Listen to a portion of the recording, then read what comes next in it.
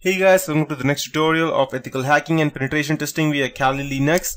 So in the previous tutorial, we saw how we can go and DDoS a compute uh, a network, uh, may it be wireless or may it be on our Ethernet. And we also uh, taught you that even if you're not on a uh, specific router, then also you can go ahead and do a distributed denial of service attack by using multiple computers or simply uh, denial of service attack. That would be more than fine to go ahead and uh, stop or let's say destroy a simple destroy the signals of of a router. So, but in this tutorial, we would be teaching some, uh, uh, I would be teaching you something different, and that would be to sniff uh, HTTP traffic through DriftNet. Over here, we would not be destroying anything. We would just be sniffing what the other party is actually doing. So, and it, uh, make sure that uh, it's only working, and I will make sure that this will only work on HTTP because if it's HTTPS, then this will not work, and I will have to go and strip off the secure system layer the, uh, for our target computer. So let's start with with this guy. So first thing that I, we would need to do would be to go and uh, first IP forward or uh, that's port forward this thing. In order for us to do that, we need to go ahead and first type cat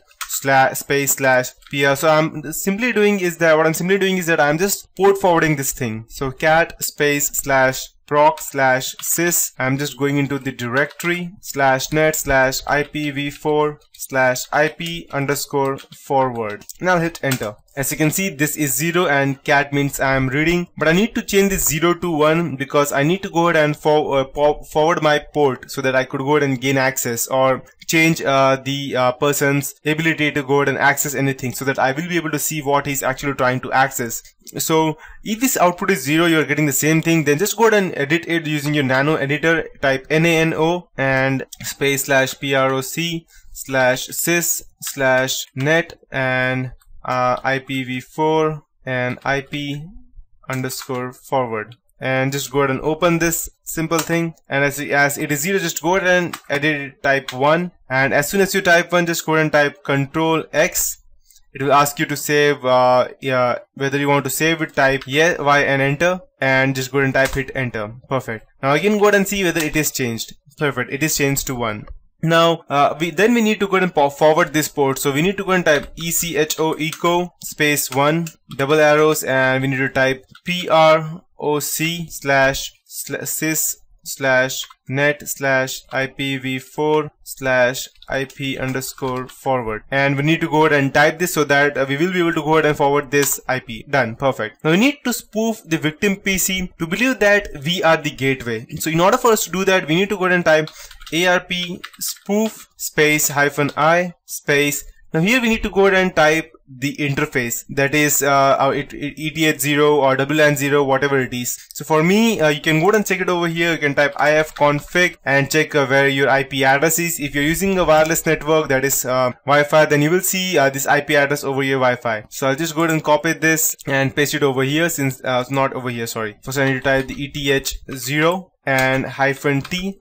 now I need to go and type the victim's IP address and make sure that this is the victim's IP address. I'm not DDoSing a target, so I don't need to go and insert over here my uh, gateway IP address. I need to um, write over here my victim's IP address. And if you already gained access to any computer, remote computer, then you would already have guessed the IP address of the victim. If not, then you can go ahead and type over here nmap-sp and you can type 192.168. Okay, and just before you have this, if you don't even have your routers, I have taught in the previous tutorial how we can go ahead and check uh, the uh, router's IP address. Okay, it should be 10. And this is my gateway. So I can just go ahead and type nmap hyphen hyphen sp space 192.68.236.2 to 154 and it will show me all the available IP ranges and since uh, 130 is my IP address and sorry 130 I believe. Yeah 130 is my IP address. This is for the gateway. Then this means this would be for my target computer.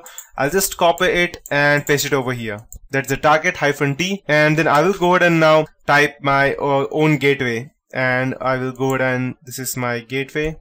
That's 192.168.2.236.2 perfect now as soon as I go ahead and type that this above command will fool the victim PC to take us as the gateway and now we need to forward all the packets to the victim's PC when he or she tries to access the web. And we do that by doing exactly the opposite. So I'll just go ahead and hit enter and on this terminal I will go ahead and type over here ARP spoof hyphen i eth0 space hyphen t. And over here right now I need to go ahead and use uh, the gateway IP address rather than using my uh, or the uh, target's IP address because we have we are redirecting that person to us. So I'll just paste it over here.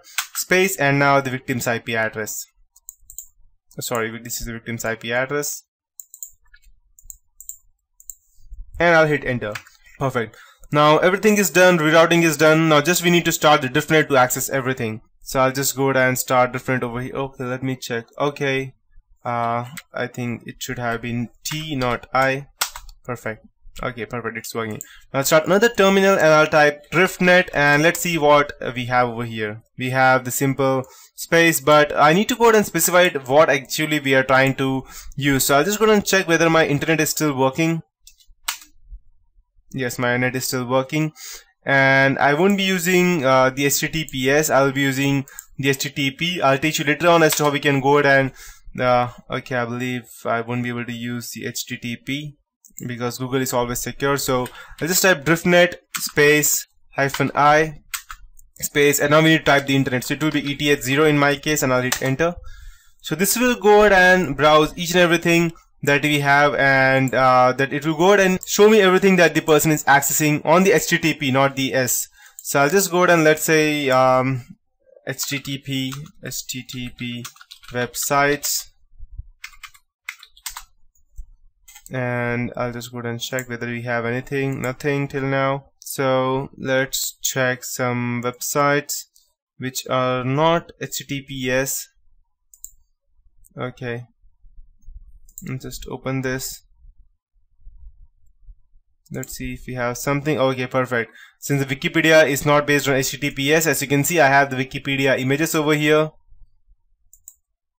Okay it's a bit slow. Perfect. Now let's go and check some random websites. We should be getting all the images over here which we are seeing. Okay let's do one thing. Let's go to some actors website. Let's say Tom Cruise for example. And this is the image. I don't know from where it is exactly for uh, so I just want to see if I could get that image over here. If this is not on a secured uh, web page then I will be able to access that. Oh it's HTTPS bad luck. So let's see this. If okay let's see the ID IMDb website. Okay perfect. As you can see I have the IMDb website and all the images over here will be displayed over here. I'll just go down maximize this a bit and I'll just refresh this. So it should be over here each and everything.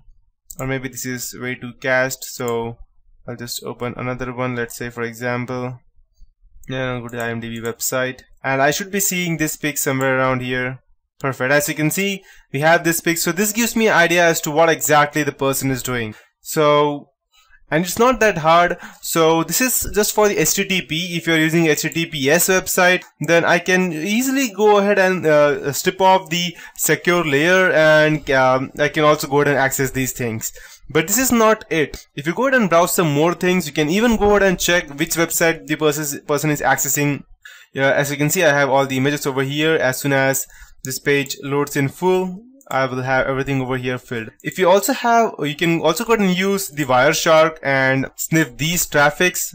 Don't show this message again. Yeah, you need to go and do that and let this website load till then we will go and capture the uh, traffic. I can just select ETH0. Perfect. And I'll close and I'll just start. So as you can see, whatever happens over here, I will get uh, the exact uh, area as to what exactly is happening, how much bandwidth is being consumed and who is exactly using that. As you can see, 131 is our target and it is, uh, I will get all the information about what is accessing and when it is accessing. So you can go ahead and uh, take a look at that. I won't be teaching you that in this tutorial and I believe our page may have loaded in full or maybe it may take um, forever to load. So uh, that's it for this tutorial guys. I have taught you almost everything. As you can see the pages have been loaded uh, till until i closed. It was only loaded till over here. So i can see all the images and different is only for going ahead and seeing the images. And yes that's it for this tutorial. And we'll take uh, uh another look uh, of our evil grade in the next tutorial